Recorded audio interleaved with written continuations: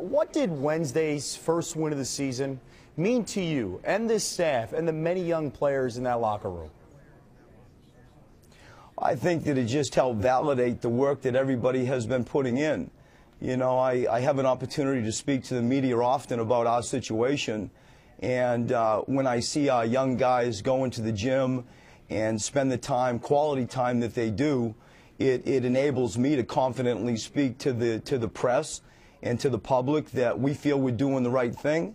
And I think the other night uh, it helped validate the work that these guys have been putting in. Right. As we heard in that piece, you're very honest. Earlier this week, you said some of your players were in all of the Spurs. Then that dribbling comment after the Timberwolves game. The average age is 23, youngest in the league on this roster. How would you describe this coaching challenge for you?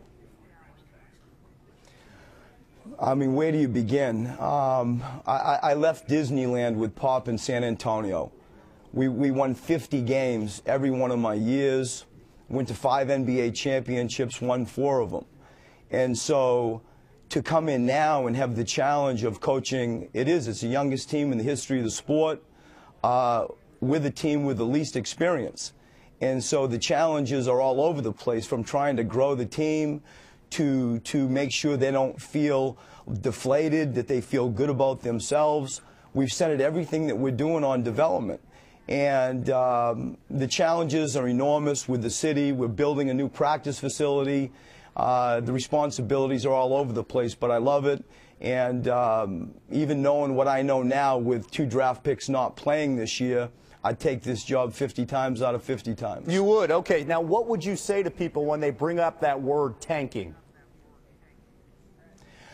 Um, I, I think you'd invite them into our gym and you know you'd watch young guys just zoom into a video session you'd watch young guys pay attention to sports science and, and our real focus on trying to educate 20 year olds on the importance of taking care of their bodies uh, you'd watch pre-practice work with all the development stuff that we do.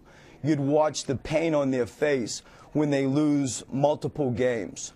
Uh, you'd watch the joy on their face when you walk into a locker room after we were close to breaking, you know, a, a record.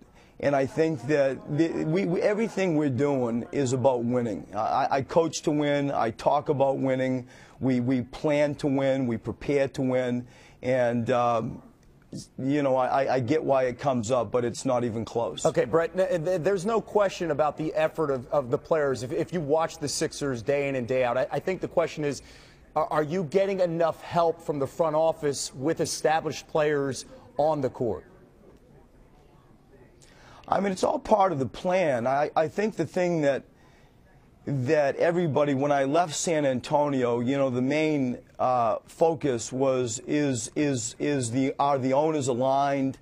Uh, Josh Harris and David Blitzer have been beyond great. Uh, Sam Hinkie's strength is analytics in trying to find you know players that that have a chance to be keepers in the NBA, and our whole path was about rebuilding. And so we, we wallowed, in our opinion, in mediocrity for over a decade, winning 38 games. And we felt that if we wanted to do or needed to do something special, we had to take this drastic type of measure. And I, I knew what I was getting in for. I love coaching these young guys. It does come with pain, but um, I, I think you know the plan has been in place, and all of us are on board together.